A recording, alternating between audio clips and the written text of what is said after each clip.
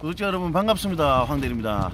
어, 제가 지금 출장을 나와 있어 가지고 어, 약간 그 서류 작업하고 약간 그 협상하고 협의할 게 있어 가지고 좀 약간 제가 야외 출장을 좀 나왔습니다. 그래서 어, 업로드가 좀 늦어질 것 같아서 죄송스러운 죄송스러운 마음에 제가 이렇게 카메라를 급하게 켰거든요.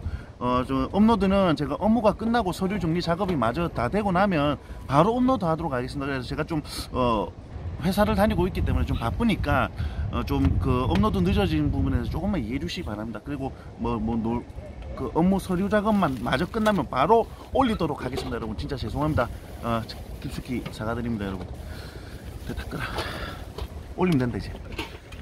야, 거, 거기 가운데 놔두라. 고기는 내가 바로 굽고. 고기는 내가 굽고.